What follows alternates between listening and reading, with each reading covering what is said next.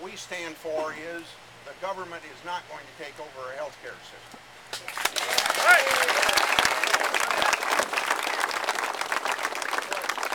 What we stand for is to make sure that no bureaucrat gets between the doctor and the patient.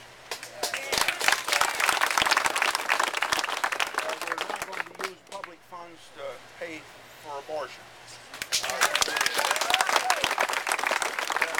uh, you know, uh, that we uh, do what we can to make health insurance affordable and accessible so that we don't have uh, discrimination based upon pre-existing conditions.